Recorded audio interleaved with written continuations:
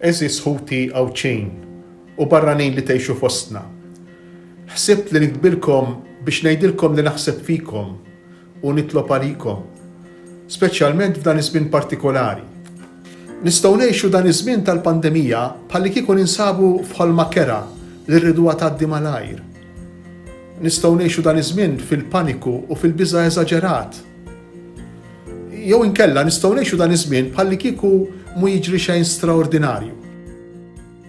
Imma nistgħu wkoll ngħixu dan il-mument billi nieqfu ftit mill-ġirja sfrenata tal-ħajja ta' kuljum u nirriflettu u nistaqsu.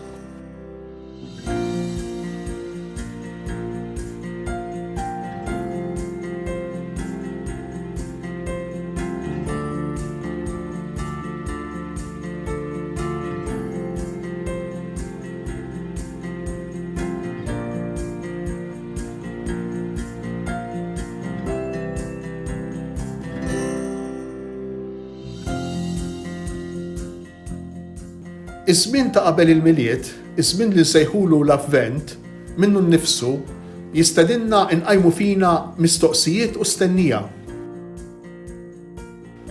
L-agħar li jista' jiġri hu li nippruvaw nifgaw il-mistoqsijiet u x-xewqat profondi li għandna fil-qalb. Għax hekk inkunu qtilna t-tama li hemm fina. Ejjew ma nibżgħux nistaqsu u nfittxu lil Alla. Fil-fatt, din l-istennija, dawn il-mistoqsijiet, din il-karba tagħna lkoll f'dan iż-żmien mhix għajr Ejja, Mulej Ġesù. Riflessjoni tal-Isqof fuq il-Vanġelu nhar ta' Ħadd fit-8 ta' filgħaxija fuq il-paġna Facebook ta' Djoċesi.